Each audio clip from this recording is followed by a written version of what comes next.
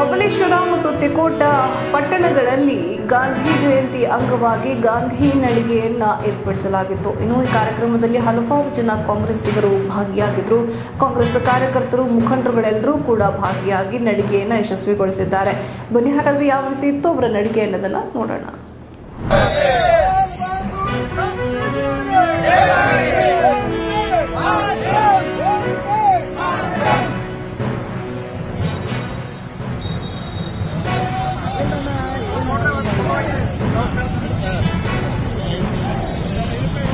ಇಷ್ಟು ಹೊತ್ತಿನ ಪ್ರಮುಖ ಸುದ್ದಿಗಳು ಮತ್ತಷ್ಟು ಸುದ್ದಿಗಳಿಗಾಗಿ ನೋಡ್ತಾ ಇರಿ. ಹೇ ಸೀತಾರಾಮ್. ಇದು ಸತ್ಯದ ಕೈಗನ್ನಡಿ